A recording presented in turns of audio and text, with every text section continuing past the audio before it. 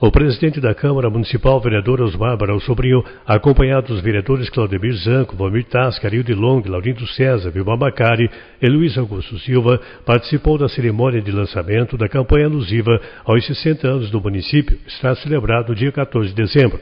Pioneiros, lideranças comunitárias, religiosas e políticas lotaram o plenário do Legislativo na sexta-feira.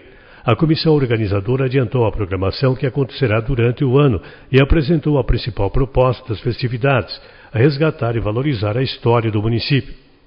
Esse resgate histórico que caracteriza as festividades mediará o conhecimento à comunidade.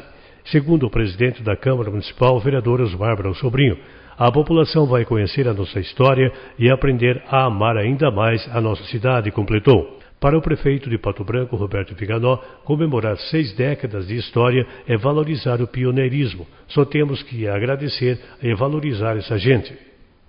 O secretário municipal de Cultura, Esporte e Lazer, Alcides Benato, reforça que a programação alusiva objetiva integrar a comunidade e promover o resgate histórico e cultural da cidade. Estão previstos